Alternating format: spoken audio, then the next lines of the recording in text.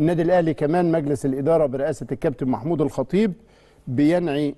أو بيشاطر نادي الهلال السعودي الشقيق الأحزان في وفاة المغفور له الكابتن يوسف السالم لاعب الهلال السابق الذي وفاته المنية ويدعو المولى عز وجل أن يتغمده بواسع رحمته ويلهم العائلة وأسرة الهلال الصبر والسلوان